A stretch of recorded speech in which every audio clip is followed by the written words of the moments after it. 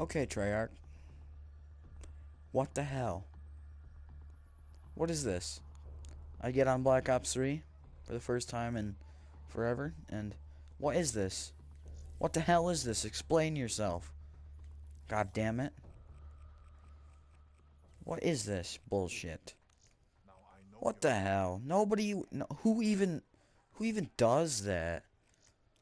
Hold on, we need to see the malice. Oh, it's still there, wow. Okay, um. What?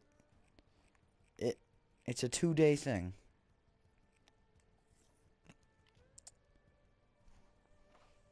Track, there's only one thing I have to say to you.